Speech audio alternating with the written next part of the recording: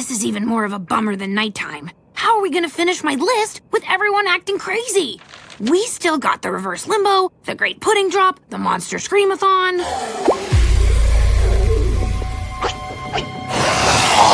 Ah! Forget ruining our fun. This is ruining our friends. Droopy eyes, drooling, an awful temper. Lack of sleep plus overstimulation plus constant daylight has